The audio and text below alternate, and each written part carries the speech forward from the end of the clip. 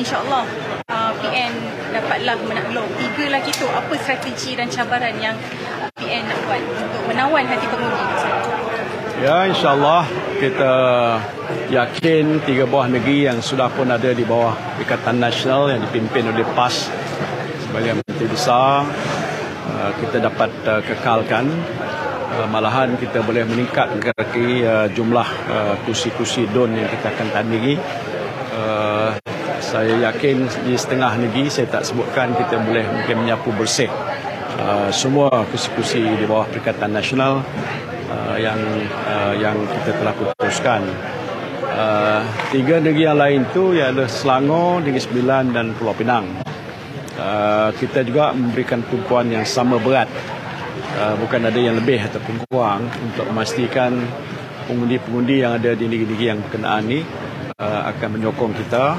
Uh, petanda-petanda awal menunjukkan agak baik kerana sokongan pada Perikatan Nasional selepas PRU yang lepas tu bukan saja kekal tapi meningkat dan bertambah. Dengan apa yang masalah yang mereka hadapi yang rasa tak puas hati kerajaan tak buat apa-apa macam-macam lagi uh, terutama di kalangan pengundi-pengundi Melayu. Malahan ada kesedaran juga di kalangan pengundi bukan Melayu. Ya kerana mereka juga terkesan kerana pembang, uh, pemulihan ekonomi uh, nampaknya tak dilihat nyata dilakukan kerajaan bantuan-bantuan untuk meringankan beban masalah inflasi kos hari hidup pun dilihat tidak diuruskan oleh pihak uh, pentadbiran kerajaan yang ada.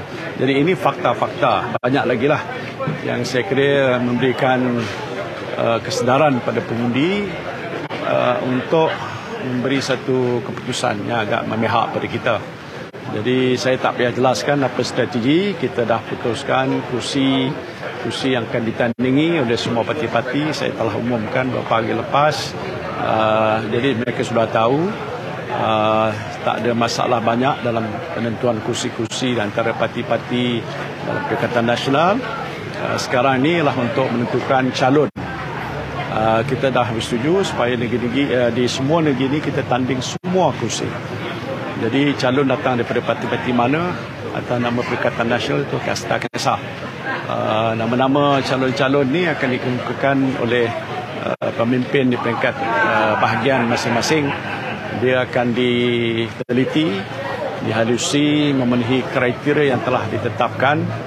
Dia akan melalui proses saringan uh, untuk dapat pasti mereka ini tak buat satu yang agak menyalahi uh, oleh pihak polis di Raja Malaysia uh, ataupun oleh pihak MACC, SPRM, lembaga hasil dalam negeri dan juga insolvensi dan juga memenuhi kriteria uh, kelayakan, kelulusan, latar belakang yang baik dan sebagainya. Ini kita akan uh, jadikan sebagai panduan untuk memutuskan calon-calon kita. Pendek kata, kita sudah bersedia. Kalau dilihat sekarang lebih awal sebelum uh, SPR mengumumkan yang kita tahu dia akan umumkan bila tarikh untuk adakan hari penamaan calon, bila hari mengundi. Ini tanggungjawab SPR lah. Tapi kita tak payah nak tunggu. Dan pasti bila semua dewan-dewan negeri ini uh, terbubar, sekarang ini dalam keadaan caretaker government, langkah seterusnya ialah untuk menghadapi PRN gini-gini.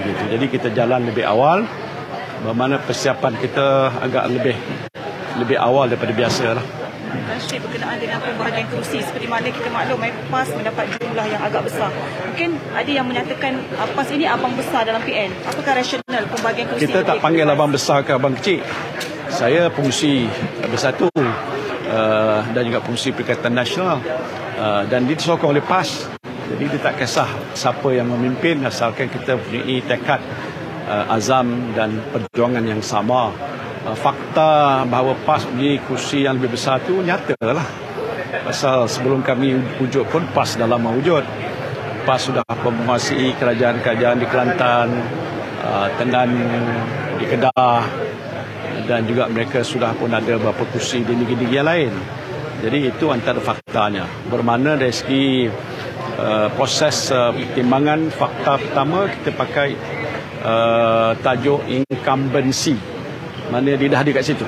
Ha, siapa yang ada, dia dah ada. Dalam PRU dulu, kita PRN dulu kita tak ada. Uh, ada juga uh, tapi tak banyak lah ya.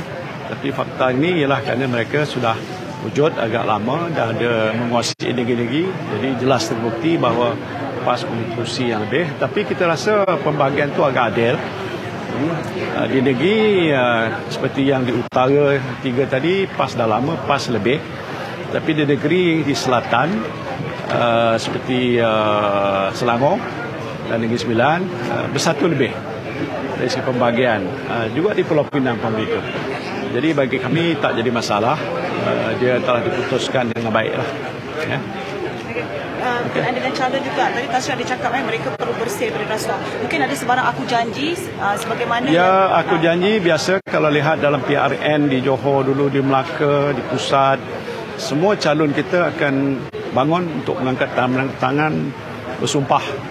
Uh, mereka akan patuh ke perkara yang telah tetapkan dalam perlembagaan undang-undang uh, menyempurnakan apa amanah yang telah diberikan uh, tidak melakukan rasuah penyelewengan itu akan kita buat uh, buktinya yang PRN dan PRU lepas ini semua buat dan uh, mereka akan uh, uh, maknanya mereka akan pegang pada apa prinsip yang telah dia aku janjikan. Tak Belum putus kerana kita baru putuskan kursi. Bila dihantar senarai nama kita nak lihat. Uh, biasa kita ambil pertimbangan uh, mereka yang sudah pun ada dan mungkin masih kekal layak. Yang kedua mereka yang baru sama ada dia pemuda ataupun wanita uh, dan juga usia mereka kita ambil kira. Apapun uh, biasalah kita pastikan ada penyertaan secara agaknya yang nak katakan adil ataupun yang agak sesuai uh, oleh kategori-kategori kumpulan uh, calon-calon yang akan dikemukakan pada kita. Aku janji tersebut ada tak sebarang amount kalau mereka khianat sebagaimana dilakukan oleh Kita tak buat begitu. Kita yakin mereka ni adalah uh, calon yang yang berpegang pada janji. Pasal kalau tidak mereka tak akan bertanding atas nama parti dan menggunakan logo parti dengan watikah yang kita akan berikan pada mereka. Jadi kita harap mereka akan berpegang teguh uh, uh, kedudukan mereka itu atas dasar Ikatan Nasional kita.